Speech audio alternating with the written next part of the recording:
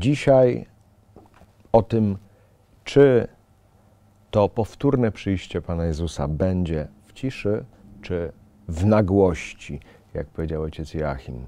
Dziwne słowo w nagłości, ale przy nim zostańmy.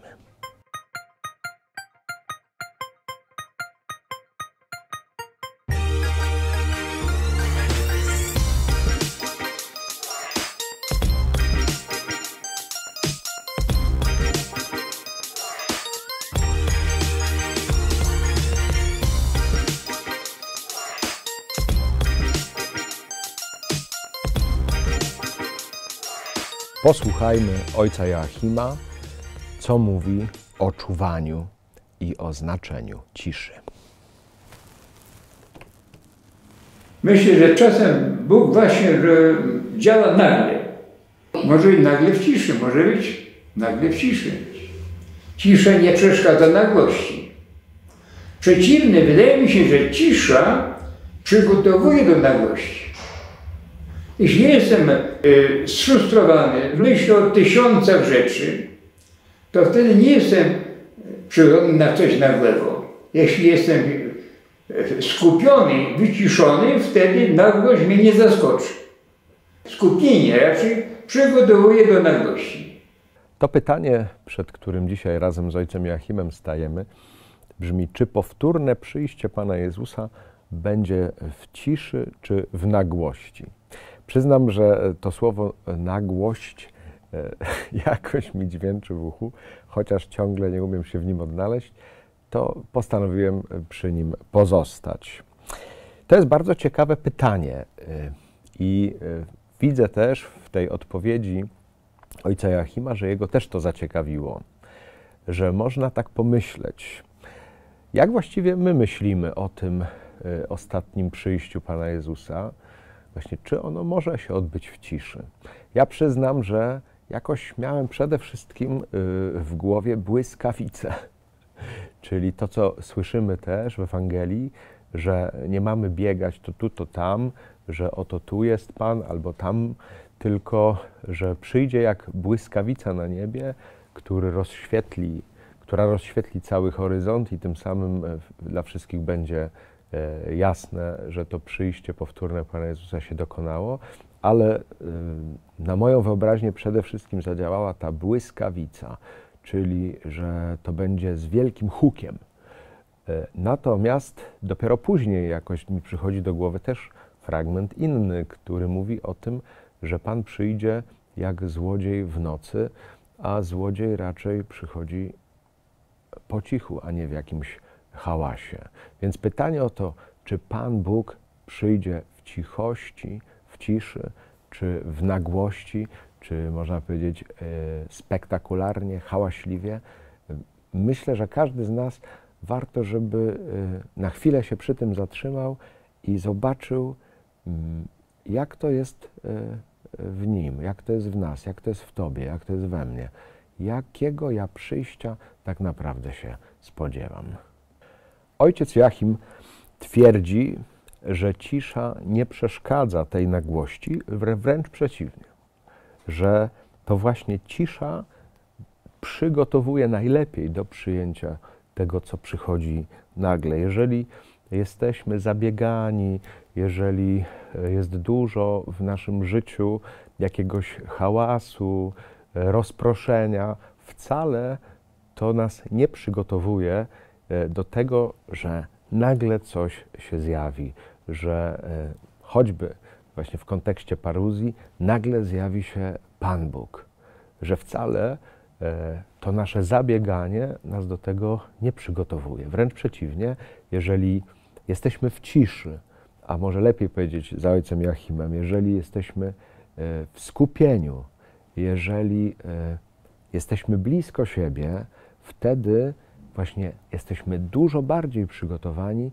na przyjście tego, co jest niespodziewane, e, czy lepiej powiedzieć właśnie nagłe, że ta cisza nas nie usypia tak naprawdę, tylko dużo bardziej usypia nas takie zabieganie i rozproszenie. W tym kontekście przychodzi mi do głowy przypowieść o chwaście. Ta przypowieść mówi o tym, że Bóg zasiał dobre ziarno i ci, którzy widzą, że rośnie też chwast, przychodzą i pytają, skąd się wziął w takim razie chwast, jeżeli posiałeś dobre ziarno. I wtedy on odpowiada, że nieprzyjazny człowiek to sprawił. Tylko, że gdy oni chcą wyrywać od razu te chwasty, nie pozwala. Mówi, pozwólmy im róść aż do żniwa, żebyśmy, wyrywając chwastów, nie wyrwali także pszenicy.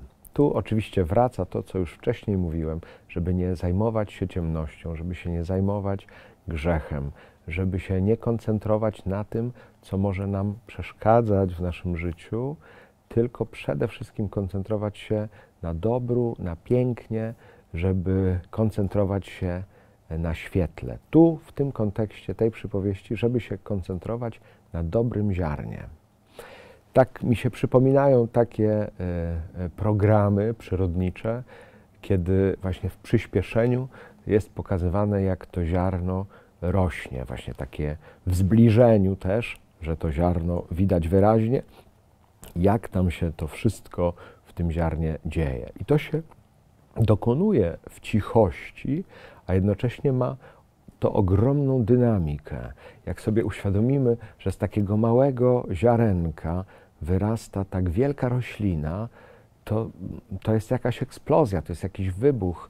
To nie wiem, jak, do czego to porównać.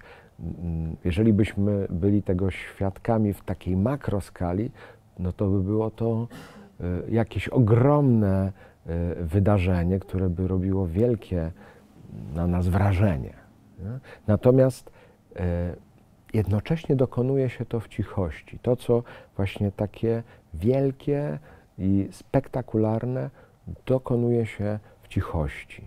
Dlatego właśnie ta zachęta, by koncentrować się na tym dobrym ziarnie, które ma w sobie odpowiednią moc, ma w sobie odpowiednią siłę, ma w sobie e, odpowiednią dynamikę, by naprawdę z tego y, było wielkie wydarzenie, wielkie dobro, wielkie błogosławieństwo, też wielkie piękno, y, bo z tego właśnie niepozornego ziarenka możemy później oglądać y, piękne rośliny, które tak naprawdę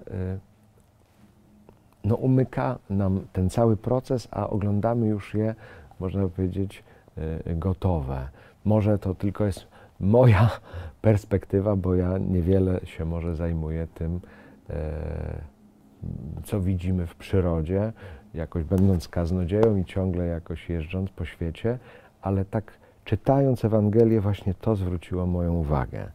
I jeżeli pozwolimy sobie na to wyciszenie, jeżeli e, pozwolimy sobie na to skupienie, e, na tę koncentrację, na tym, co dobre, to możemy potem być świadkami pięknego wzrostu i e, będziemy przygotowani na to, co rzeczywiście dynamicznie może zjawić się w naszym życiu. Bo gdy potem e, ta przypowieść mówi o tym, że przychodzą aniołowie i rzeczywiście ścinają i pszenicę, i ten chwast, i potem oddzielają jedno od drugiego, żeby właśnie y, pszenicę zanieść do spichlerza, a chwasty spalić w ogniu, to to jest już bardzo dynamiczne wydarzenie. Ale jest możliwe wtedy, kiedy pozwolimy temu ziarnu rosnąć aż do żniwa. Nie będziemy zajmować się chwastami, ale dobrym ziarnem, a później tym, co z tego dobrego ziarna rośnie. Bądźmy więc e, skoncentrowani w tej cichości, Bądźmy mm, gotowi na to, by dojrzewać, bądźmy gotowi na to, by potem dać się przyjąć y, już jako dojrzałe owoce, już y, jako to, co z tego może niepozornego ziarenko zdołało urosnąć.